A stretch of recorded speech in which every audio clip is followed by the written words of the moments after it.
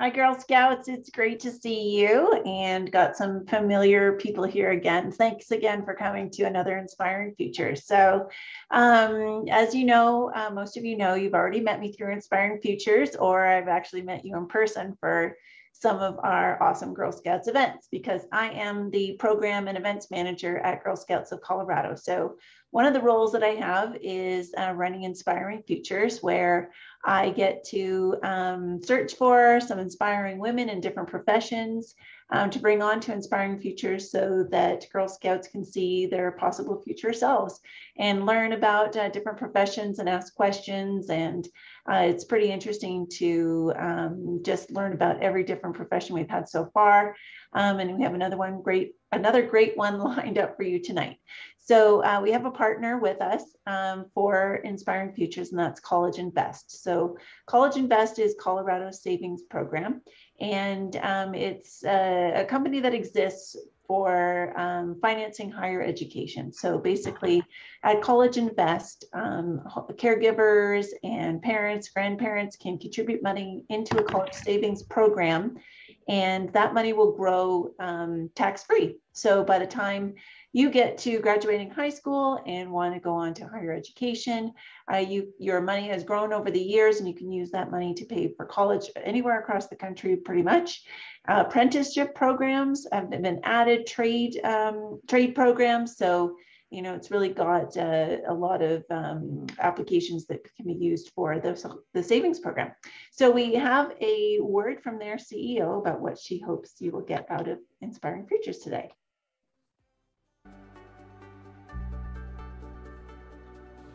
Hi, I'm Angela Baier, CEO of College Invest, and welcome to this episode of Inspiring Futures.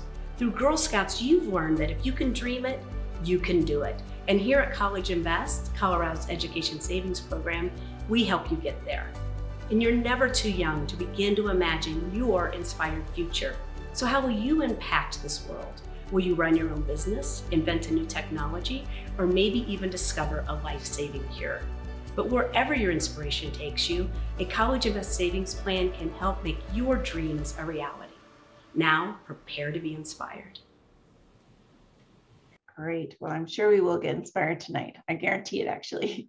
Um, so, uh, our housekeeping items are that we are recording this uh, so we can put it up on our Inspiring Futures YouTube channel. Um, so I'd love for you to share your uh, video and unmute and interact if you want. I will be editing the video before it goes up onto YouTube. So I will take out any video so it won't be out there in public. Um, so you know that if you are hesitant about sharing because of that purpose. So anyhow, we'd love to see your faces. And next up is our Girl Scout um, Promise and Law. So all my honor, I will try to serve God and my country and help people at all times to live and to live by the Girl Scout law. And the Girl Scout law, I will be honest and fair, friendly and helpful, considerate and caring, courageous and strong, responsible for what I say and do, and to respect myself and others, respect authority, use resources wisely, make the world a better place, and be a sister to every Girl Scout. I love it when I had my Daisy troop and they would scream out, uh, be a sister to every Girl Scout and hug each other was pretty cute. So, um, but you're not here to listen to me chatter on. Um, what we are all here for is to meet pilot Pamela Freeland, and she's here to talk to us about her career path through um, uh, being becoming a pilot for Southwest Airlines. So I'm going to stop yattering, stop sharing my screen, and I will introduce Pamela Freeland to everybody. Hello, everyone. Can you hear me all right? Yep, we can. Okay, it's good to see you guys here tonight. I'm just absolutely honored to be able to talk to you a little bit about what it's like to be a professional pilot, both in the military and in the civilian world as a civilian. Um, I appreciate your time, and I hope that uh, I can give you some information that would make you uh, think about possibly considering becoming a professional pilot. So, without further ado, I will share my little presentation. Um, first off, uh, a little bit about me. I have been uh, a pilot since I was 20 years old. I got my license when I turned 20 years old, and I'm not going to tell you how old I am, but that means I've been a pilot for quite a quite a while. Um, I am a Colorado native. I was born in Colorado, uh, third generation Colorado native. Actually, grew up in the South Denver area. Uh, I uh, got all my flight training through the United States Air Force, and I served in the Air Force for 20 years. After I retired, I joined Southwest Airlines, and I've been there for eight years. And I am married uh, to a wonderful man who's retired Air Force physician, and we have a wonderful dog named Baxter, and that's our little family. So, uh, why would I be talking to you about becoming a pilot? What's great about being a pilot? Well, there's quite a few benefits, uh, actually. An airline captain in the United States makes about $300,000 per year, which is a very, very good paycheck. Uh, that's roughly equivalent to what a physician or a lawyer will make. Uh, so that gives you a little bit of perspective. An airline captain is very well paid.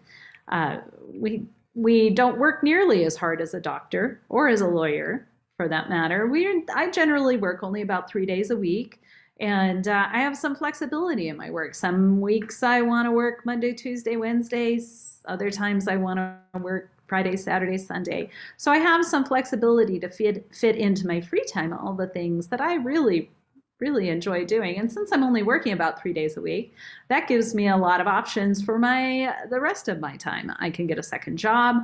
I could really dive into my hobbies. I could go on a long camping trip. I could meet up with friends and family. So it really gives me a lot of flexibility in managing my work life. Uh, being a pilot, obviously, you're going to travel around, and travel is always pretty much equal equal to adventure. So you get to travel the world for free, particularly if you're working for an airline uh, or in the military. You'll get to see amazing places and have the free time once you're on the ground there to explore the local area, foods, meet people.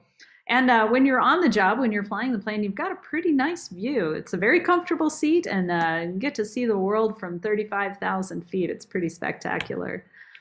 Pilots in our society tend to be fairly well uh, respected. So if you want, if you're thinking about a career where you would get um, some prestige for your work, uh, being a professional pilot is one of those areas where we enjoy a lot of respect. And quite honestly, flying an airplane is pretty fun. It's like being on a roller coaster, except you're pretty much driving the roller coaster. So you can swoop and and loop and fly upside down sometimes, and it's that's all a great amount of fun. So, but one of the biggest reasons why you might want to consider being a pilot is because the world really needs pilots our pilots are retiring pretty fast, and we're going to need to replace the ones we have over the next 17 years with about three quarters of a million new pilots around the world. So, about half of the pilots that are working now are going to retire in the next 15 years. So, you ladies are going to be right in a really great position to be competitive for a job uh, as soon as you are eligible to get those jobs, um, and the money is great. And you can and you can work in many different areas, which I'll get to in a, in a minute. Uh, there's a great demand for air travel uh, these days, especially following COVID. People are anxious to travel and see the world in many of the places that people want to go. You really can't get there by boat or by train or by car. And sometimes you just want to get there a little bit faster. So there's a lot of people that want to fly by air. And uh, what's relevant for us as women is only about 6% of professional pilots in the world are women, which means that you pretty, st- pretty well stand out in the crowd. Uh, so, all of this adds up to be great opportunities for ladies in your generation, and as well as the boys that you know. They, they could be pilots too. So, where are some of the places that pilots work? Well, obviously, you can work in the airlines, flying people to their destinations, to job interviews, to family meetings, to vacation. Uh, you can work also, and another type of airline is a cargo carrier, such as UPS or FedEx. They also fly all those packages that you're ordering off of Amazon. Uh, so that's considered an airline job. United States military has a great need for pilots, and they'll give you all of your training. In addition to flying big, heavy aircraft in the in the military, you might have the chance to fly a fighter jet like this young lady is, and uh, go do some good in the world. Our media, news outlets, traffic reporting, that's usually helicopter flying, but there's jobs in those areas where you can report on the local area. Uh, com- companies, celebrities, famous people like to uh, hire private jets for their transportation. And so you could get a job working in the corporate airline industry. You can do aviation as part of community service. This young lady flies an air ambulance, flies people to hospitals when they need medical care. You could do firefighting. That's something that's been really relevant here in the Colorado area the last several years. You can even fly a helicopter for the police and be a law enforcement officer, eyes in the sky. If you live in a beautiful place like we do in Colorado, the tourists come and maybe they want to take a plane ride and see this beautiful area from the sky. So, tourism aviation is another area where you could work. In the entertainment industry, obviously, Hollywood uses airplanes to get those great, spectacular movie shots. This woman on this in this picture, she's a professional aerobatic airshow pilot. She's pretty awesome. If you ever look up uh, she's got quite a few videos on uh, YouTube. It's pretty amazing what she can do. Maybe once you learn how to fly, you want to teach other people how to fly so you could become a flight instructor. And with all those flying skills, you can give back to charity. Uh, you can help rescue people from disasters. You can um, bring supplies into areas that have been devastated, or as this woman is doing, fly a shelter pet to where the where the pet can enjoy their forever home. So there's many areas where you can get a flying job, not just in the airlines. So, okay, being a pilot is cool. So how would you get there? Well, there's two main pathways to becoming a professional pilot. One is as a civilian and one is as a member of the United States military.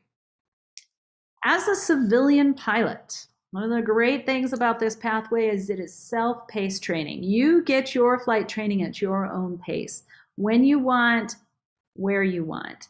You don't require, uh, there's no college degree required to be a professional pilot, although it is highly desired. It's not a, a requirement. You can work anywhere in the world. There's airlines all over the world and airline or flying jobs all over the world. So if you wanted to see what it's like to live in Papua New Guinea, you could get a flying job down in Papua New Guinea. Uh, you get control, more control over what type of aircraft and what jobs you uh, you want to do. And that's generally the fastest path. The civilian pathway is the fastest way to get to the airlines and to that big money that I talked about at the beginning of this presentation. So, in order to go down the civilian pathway, in order to get all the training you need, is going to cost about $80,000. You're going to start with a private pilot's license. You can earn that at age 17. So, you get a driver's license first at 16 and then a private pilot's license at age 17. After that, you can complete your instrument rating so you know how to fly using just instruments. So if you can't see out the window, um, uh, then you'll be able to navigate without being uh, using just the instruments in the cockpit. Uh, following getting your instrument rating, then you can complete your commercial pilot's license, and you can get that at age 18. And from that, once you get that license, then you can get paid to fly. At that point, you can get a flying job and start earning money as a pilot. And as I said before, one of those one of the ways you can do that, one of the great entry jobs for new pilots is to be an instructor. So you can complete your flight instructor training and uh, start teaching other people how to fly while you're building up your own hours. Uh, you'll complete a multi-engine rating. That's another set of training so that you can fly an airplane with more than one engine. And then finally, at age 23, then you're old enough to earn an air transport pilot license. And that is the final credential that you would need to get an airline job. So you can see from age 17 to age 23, there's a good amount of time for you to complete the training, to build up your hours, and get ready for a career as a professional pilot. But there is that $80,000. How do people pay $80,000 for flight training?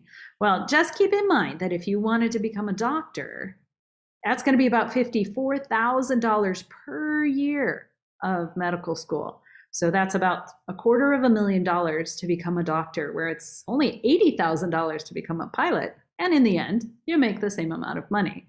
So, how would you how would you pay for all of that training? Well, the easiest way, the fastest way is to get a student loan. But keep in mind a student loan, just like with any educational loan, it has to be paid back. But that money is out there.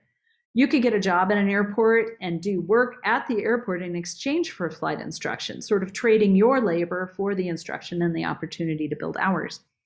Many of the airlines have set up partnership programs with training schools, aviation schools, in order to grow up the next generation of pilots. And by getting selected for one of those partnership programs, for instance, Southwest has a program called Destination 225 uh, which takes someone who doesn't know anything about flying and brings you all the way up to the point where you can get a job as a Southwest Airlines pilot. Uh, that offsets some of the cost of your training. You still do have some of the bill, but it is an easier way to get there. And then finally, the freest money out there is scholarships. There are many, many organizations out there that offer scholarships for flight training. And here on this slide is a whole list of organizations that you could go to their websites and look to see what, what it takes to qualify for their scholarships, to see what each of these organizations can do to advocate for you uh, as you pursue an aviation career. And you meet other members of the flying community that maybe have a passion for flying through the skies. So you see there's four right there in the middle, Women in Aviation International, the 99s, female aviation, aviators sticking together and Sisters of the Skies. Those four organizations are geared towards promoting women in flying jobs. So that would be a great place to start. But all of these websites, and there's many others out there, are for organizations that are willing to give you free money to learn how to fly. Free money. Free money. So now you've got your money lined up.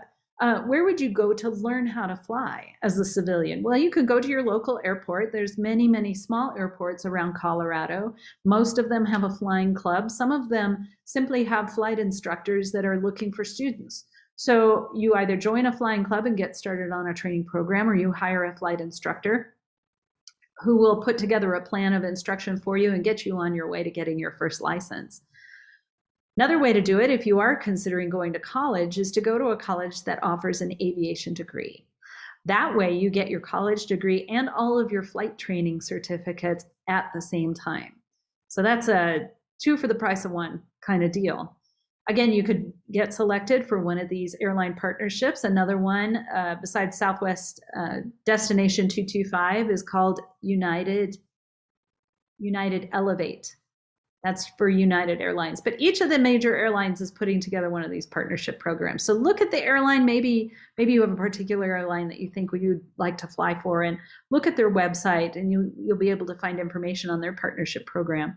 And then finally, if you just want to get as much training done in the shortest amount of time, you could head on to a flight school and go through one of their aviation boot camps. And that's pretty much all flying all day for about a year.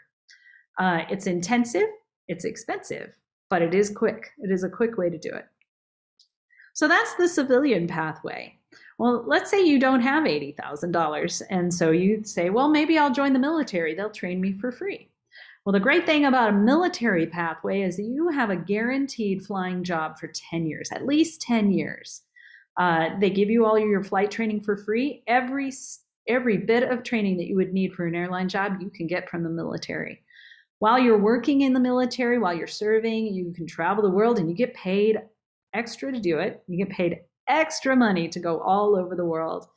Uh, say you wear pajamas to work, but that's pretty much what a flight suit feels like when you're flying in the military is you feel like you're wearing your pajamas. They're extremely comfortable. So if you're like me, you don't really like wearing a suit or a skirt or hose or high high heels, maybe a flight suit and combat boots is more your speed. And probably the best reason for going into the military is you're really part of a team. You're making a difference all around the world for people who are in very dire straits. And you get to make some amazing friends along the way. So, how do you do the military pathway? Well, it doesn't cost you anything out of pocket, but there is still a cost. In order to become a military aviator, you have to have a college degree, you have to get a commission as an officer, So that's either going to one of the service academies like the US Air Force Academy down in Colorado Springs, uh, West Point, Annapolis, one of the academies. Uh, that gets you your college degree as well as your commission in the military as an officer. Or you can go through officers training school, which is about six to eight weeks of intensive officer training. Again, in order to enter into that, you have to have a college degree. Or you can do as I do and go to college, but join an, a Reserve Officers Training Corps, which is ROTC.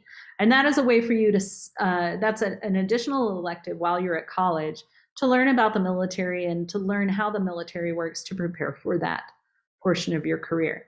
So once you have your college degree and you have a commission as an officer, you get selected for a pilot assignment and then you are on your way. Military flight training is one year. It's 52 straight weeks all flying all the time. You're doing aerobatics, you're doing fast, you're doing instruments, you're doing low level. It's really, really a great time. Uh, and then after that, you serve eight to 10 years, depending on which uh, military service you join. Uh, and that gets you all the hours and all the training that you need to be competitive for uh, any flying job once you once you're done with the military. So you're not in college yet. You're not quite there. What can you be doing now as a middle school, as high school, getting ready to, just to sample what being a pilot might be like. Civil Air Patrol is an organization that serves our community with search and rescue services. They provide emergency services, disaster relief.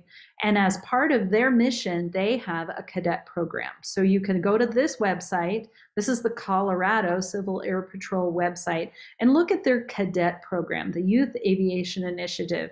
What that does is that allows you as a young person to come into the aircraft and help the Civil Air Patrol pilots find lost hikers or bring in supplies, and you're learning about flying as well as helping your community. So that's a great way to get uh, your foot in the pool, so to speak. Uh, AOPA, Airplane Operators and Pilots Association, has two programs you might be interested. The Aviators is sort of like a club, uh, sort of like Girl Scouts, where you uh, meet other young people who are interested in aviation. You share information and and uh, you attend events such as touring uh, Denver International Airport or uh, getting married up with uh, or getting paired up with an instructor to learn how to fly. And then AOPA also has a high school curriculum that could be offered at your school so that you can learn things like how airplanes are built and learn more about meteorology so that you can gain a greater understanding of the aviation industry. Now, here is an event that you could take part of next month. So, this is on June 11th.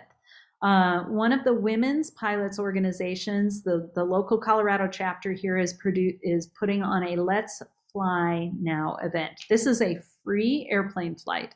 This is not you going up for a ride.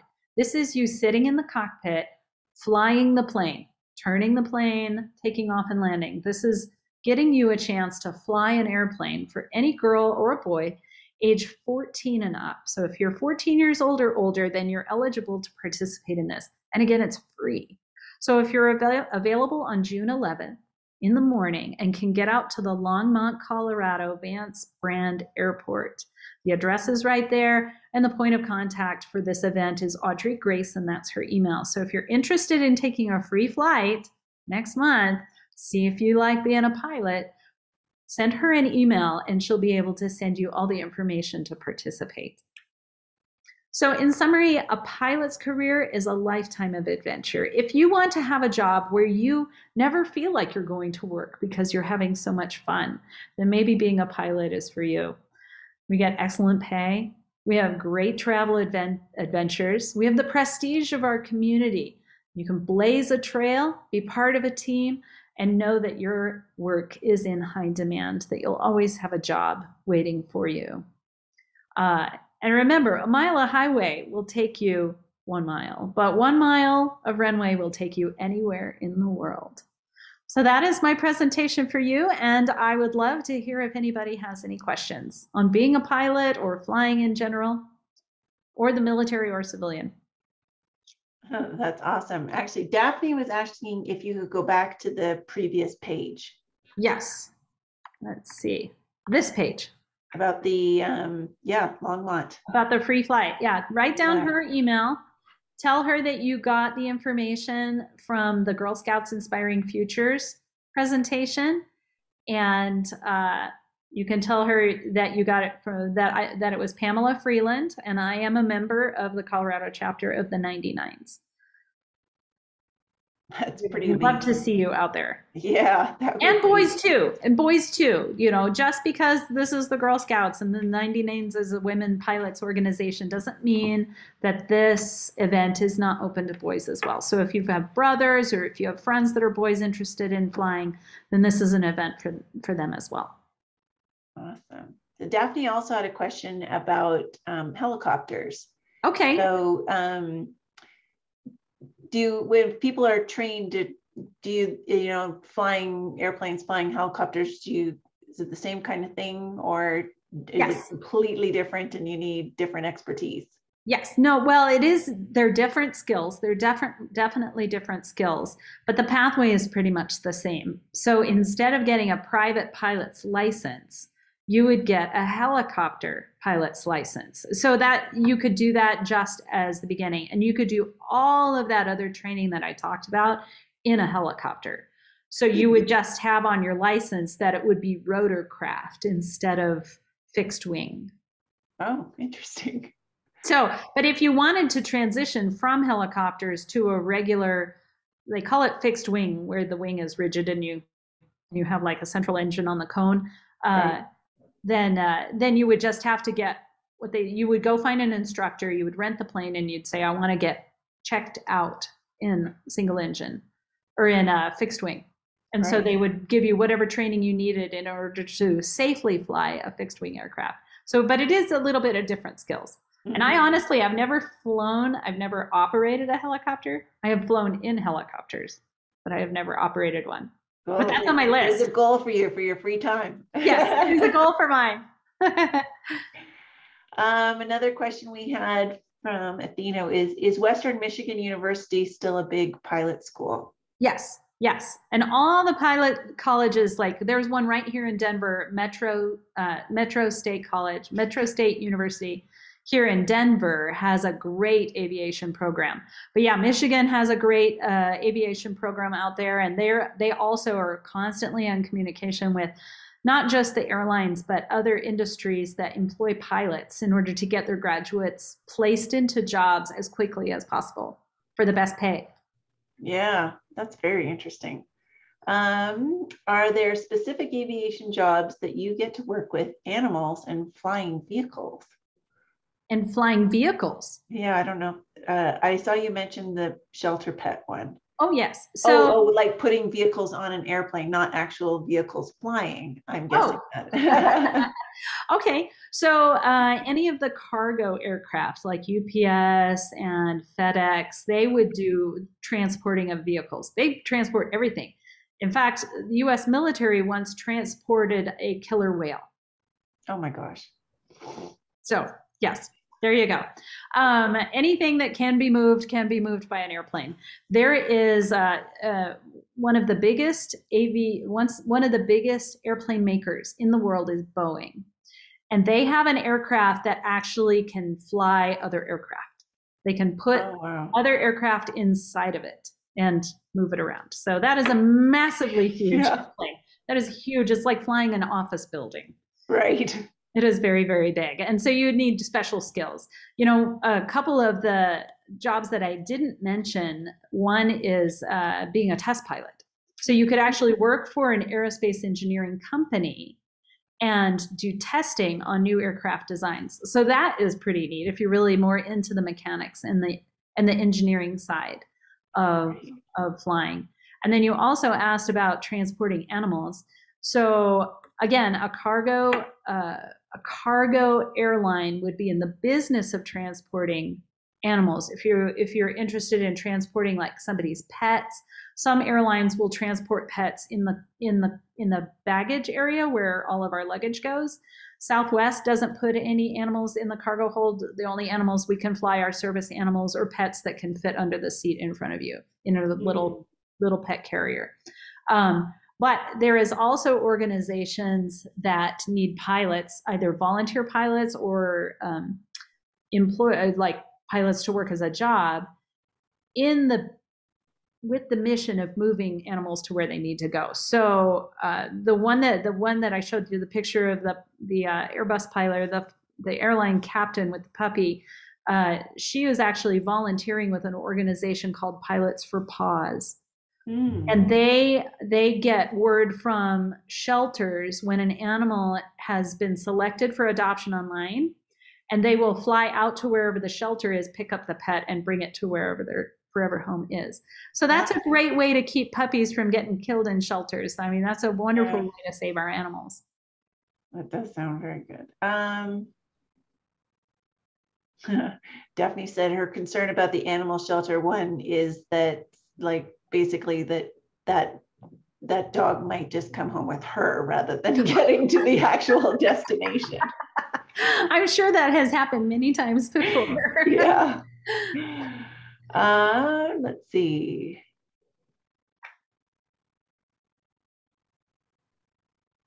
Okay, Daphne was asking about the flying police. Like, so military fly. So there's some people who fly to police the air mm-hmm. base, I guess. Yes.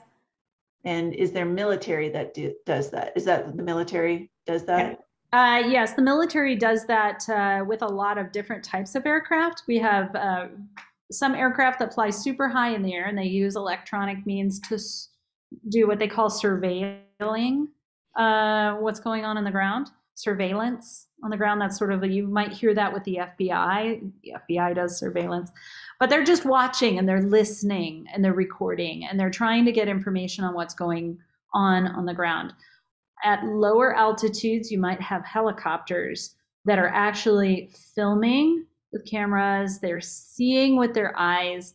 Um, they they're protecting people on the ground or they're um, retrieving people from the ground. First, so let's say let's say a hurricane comes in and an entire area is flooded and there are people up on the roofs of their houses because they because everything's flooded around them. How do they get off their houses without jumping in a canoe? Right. Uh, it, it, would be a helicopter. So it's either the local police would um, or air ambulance would come in and rescue them. The u.s coast guard does a lot of that kind of rescue uh, mm-hmm. as well as um, there there's actually uh, some technology that's moving into using drones to pick things up. So it's not just delivering your Amazon packages. They're looking at larger drones that would be able to drop in, you climb into a basket, and the drone flies you away. So the drone doesn't fly by itself. It still needs a pilot flying it. Right. the pilot is working from the ground, piloting the drone remotely. So that is definitely a new technology that's coming into the aviation industry that will still require pilots. You'll still need to know about air currents and the machines and the flight rules and all those things that that you need to know to actually be in the plane to fly it. You'll need to know all of that to fly a plane remotely. Right. Oh, that's fascinating. I hope that uh, answers the question. Yeah, the, the, different trajectories for the future of aviation. yes, yes, and they are talking about having passenger aircraft uh, be pilotless, so be remotely Ooh. piloted. But I really think that that technology isn't going to come along. At least it's not going to be widely used in aviation transportation for probably a good 40 years still. Right. So right. you'll see that in the cargo aircraft first, I think, and then and then we may right. get to the point where we have passenger aircraft line right. flown remotely. But I, I personally, if I'm a passenger in a plane, I want to know there's a pilot up front. Yeah, definitely comfort. Riding along with me. Does anybody else have any more questions? Trying to look through to see if there's ones I missed.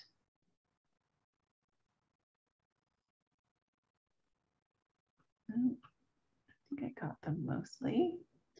So if if any of you have any interest in flying, now is the time to start looking into it. As as a teenager, I was looking into flying as a teenager and asking questions and figuring out what path I needed to follow so that when I was at the right age, I was ready to go. So take take the opportunities that you have as young people in school to take care take advantage of these programs like this free flight to look at the websites and see about other events that may be happening in your area that have something to do with flying. You might be interested more in building aircraft than flying aircraft but as if you if you expose yourself a little bit to the aviation industry as a young person you're going to make better choices for your career ahead uh, when you're really starting to put your money into the training. But I can tell you that the best job out there is one where you never feel like you're going to work. Mm-hmm. They say if you do something that you love, you will never work a day in your life. Right. And I feel that way when I when I actually go to fly an airplane. I feel like I'm actually going to have some fun. That's right. that's fun for me. Yeah. So I, I hope that you guys uh, think about a future in aviation talk to your friends even if you think you want to do something else you know maybe you're fr- you know somebody who's interested in flying. Like i said we need pilots and we need lady pilots mm-hmm. in particular. So so consider Spread it. the word the word and even if you choose not choose to do it for fun i hope that you try it out and i hope that you have a great amount of fun flying above the ground. Yeah amazing amazing um, Caitlin has a question about what breed Baxter is and if, oh. he, if he's a rescue dog. He's a border collie. Oh. So he is, he's white and black. Uh, and he's about 50 pounds. So he's pretty big, but he, uh, he loves playing with the ball. That's his favorite thing in the whole wide mm. world. And he thinks his job is to keep the ball moving at all times. Yes. Or the Frisbee. I have an Aussie Shepherd and it's the same thing. yeah. We love our puppies. Yeah. Yep. And they like to play ball all yes. the time. Yeah. So awesome. All right.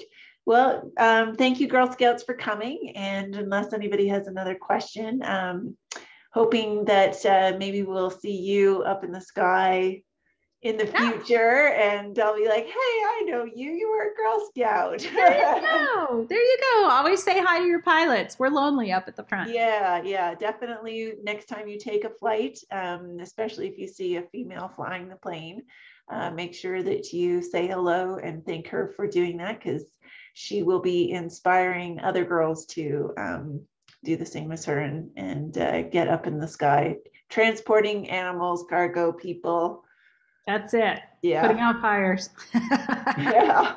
Saving the world.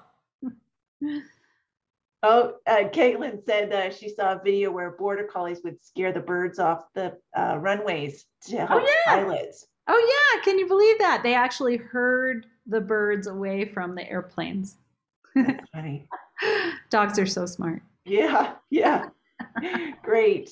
Thank you, Kate. All right. Well, thank you so much, Pamela. This is absolutely awesome. And um, girls, if you want to unmute, you can say thank you and goodbye. Thanks. Bye. Have a great afternoon.